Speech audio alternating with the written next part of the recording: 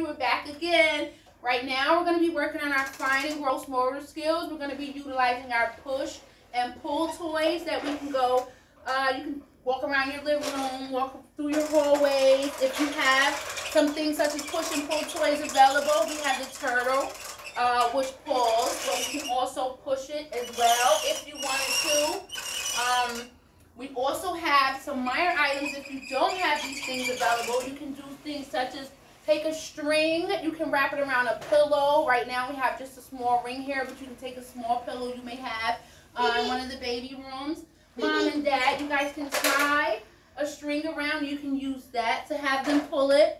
Uh, this is our soft toy right here, so you can use it on a harder push toy.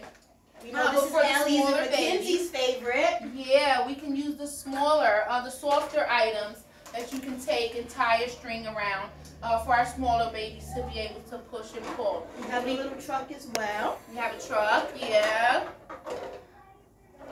We want you guys to be able to stay fit and use your fine and gross motor skills, although we're not in school right now. Yes, we miss you. conduct these activities at home, okay? Right, we miss you guys. We love you. Can't yes. wait to see you. Virtual hugs and kisses.